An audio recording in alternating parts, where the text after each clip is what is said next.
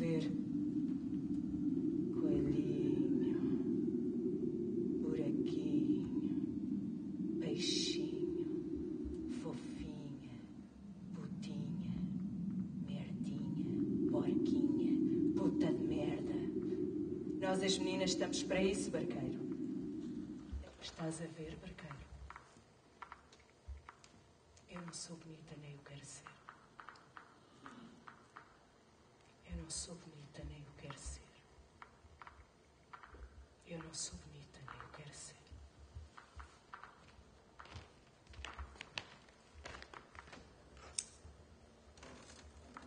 Consegues perceber que este texto nunca poderia ter sido escrito por um homem?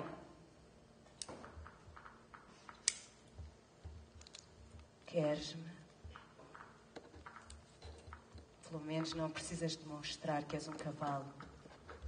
Os homens vivem de explicações e demonstrações. Mas um cavalo. Um cavalo não precisa demonstrar que é um cavalo.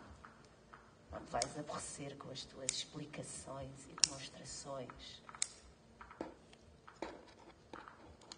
Queres-me? Se chegar a acontecer alguma coisa entre nós, como será o sexo entre mim e ti?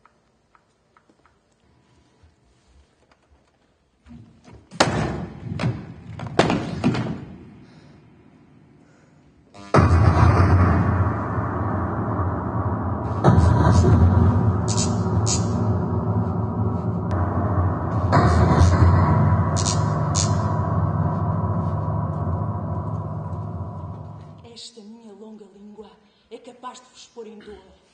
Eu sou capaz de lançar a minha longa língua à volta do vosso pescoço, esganar-vos, sufocar-vos até à morte, até a vossa cara ficar bem roxa. Eu subo a uma enorme árvore, transformada num enorme lagarto, e lanço a minha longa língua à volta do vosso pescoço e penduro-vos na árvore. Vocês, roxinhos, pendurados a espernear. Já estão a ver o tipo de broche que o lagarto da África vos pode fazer. Mas voltando ao puto do taxista, o gajo falava sobre tudo e sobre nada. Falou durante minutos e minutos sobre o Benfica, sobre a escolha dos pretos que têm de ser corrido daqui para fora. A conversa dele era pior do que a referente lá de casa. E depois começou a perguntar: Ah, já viu isto?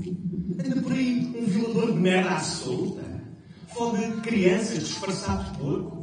Enfia uma cabeça de porco na cabeça. E, e anda por aí a miúdos e miudinhas com a cabeça na cabeça. O atrasado mental, filho da puta, psicopata do caralho. Esse gostava de o apanhar e foder-lhe a cara navalhada. Cortar-lhe a cabeça de porco e enfiar uma estaca pelo acima a ver se prende. O palhaço filho da puta, pedófilo de merda. O mundo tem de se ver livre de tipos como este, não acha?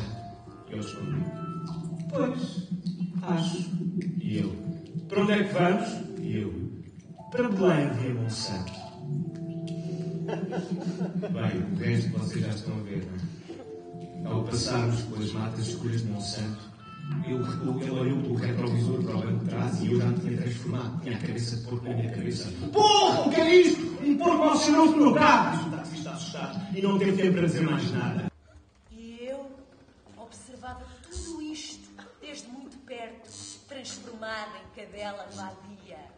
E de muito perto pude constatar o quanto mal cheirava aquele homem. Cheirava a podre ou a merda, uma espécie entre mijo e suor. Eu, já com espuma na boca, arreganhava os dentes. A minha irmã era abandonada, ensanguentada numa poça de sangue